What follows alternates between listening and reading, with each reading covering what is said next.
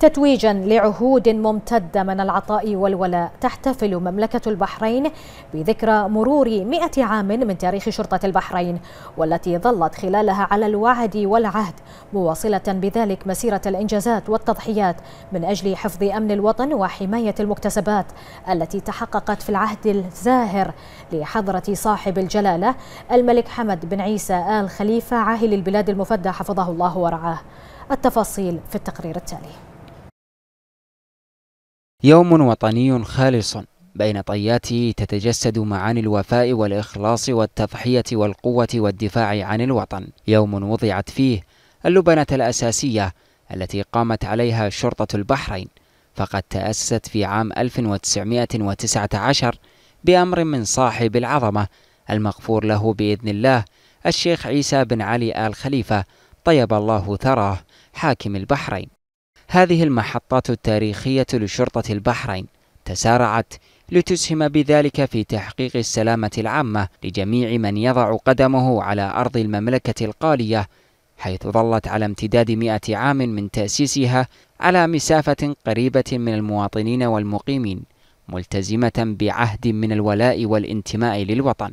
هذه الجهود يشهد لها التاريخ بقيادة الفريق أول معالي الشيخ راشد بن عبد الله آل خليفة وزير الداخلية من أن تضرب بيد من حديد أوكار الإرهاب والتطرف وأن تحبط المساعي الشريرة للجماعات الإرهابية التي سعت إلى إرباك الوضع الأمني في البلاد.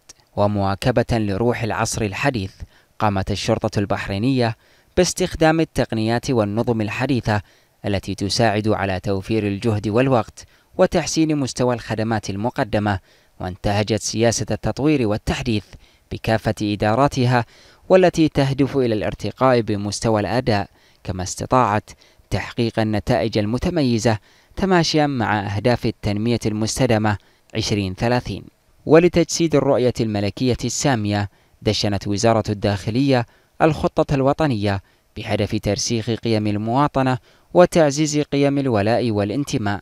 حيث قامت شرطة البحرين ممثلة بجميع إداراتها ببذل جهود كبيرة في سبيل تطوير وتحديث كافة القطاعات الأمنية في إطار العمل المستمر على حفظ الأمن وتأمين السلامة العامة للمواطنين والمقيمين بما يعكس قدرات الأجهزة الأمنية في تأمين المنشآت والمرافق الحيوية وحمايتها.